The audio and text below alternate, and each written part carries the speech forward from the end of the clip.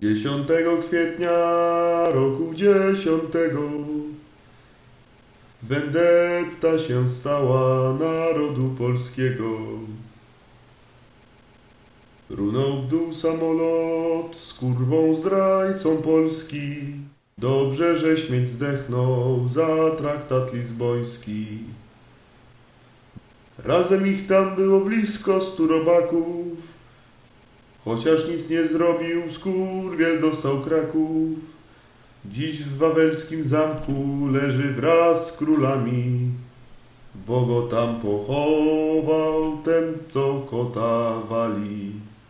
I chociaż Piłsudski też był socjalistą, nie może wytrzymać tak blisko z tą glizdą. Nad Polskę nadciągnął uśmiech Boga długi. Umarł kaczor pierwszy, zdechnie jeszcze drugi.